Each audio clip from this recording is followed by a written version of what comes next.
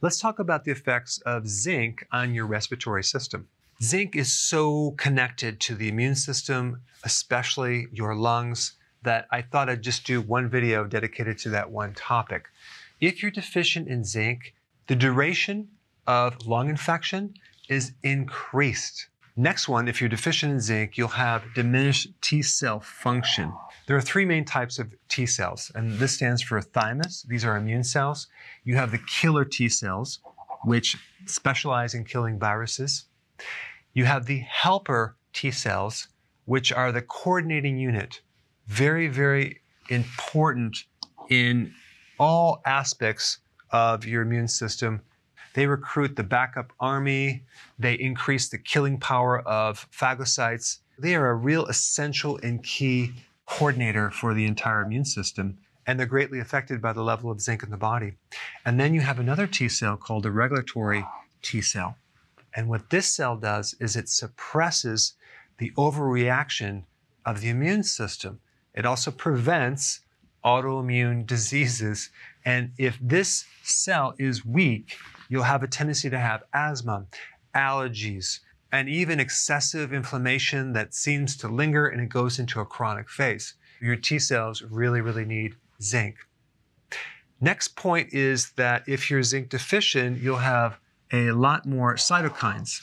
Cytokines have many different functions, one being messengers, another one is pro inflammatory, so it can cause inflammation. That's all part of the immune process, but sometimes it gets out of hand. So if you're deficient in zinc, you could potentially even go into a cytokine storm where you have this serious inflammatory condition of the lung, and that can lead to scar tissue. A zinc deficiency could be a contributing factor to this right here.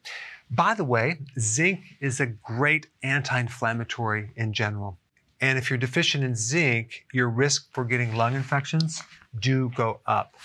When you have conditions like COPD, chronic obstructive pulmonary disease, you're nearly always deficient in zinc. Your risk goes up for ARDS. This stands for acute respiratory distress syndrome. Also, you're more at risk for upper respiratory tract infections as well as lower respiratory tract infections. Now, this next one is very interesting. Low levels of zinc can make the lungs more susceptible to ventilator induced injury. Now, when you get on a ventilator, which is a breathing machine, your risk of mortality goes up. The chances of you surviving are less.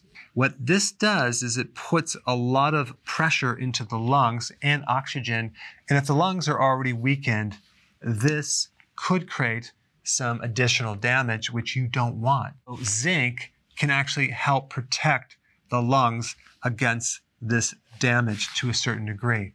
And that study I will put down below, and it's called Zinc Deficiency Primes the Lung for Ventilator Induced Injury. Fascinating. If you have a lung infection, if you're sick, your body is going to be using so much zinc, chances are you're going to be deficient. Just the fact that you have an infection causes depletion of zinc, and then you lose more ability to fight the infection. All right, so the next question is what foods do you eat to get zinc, and what are the things that can prevent you from absorbing zinc? For that, you need to check this video out right here.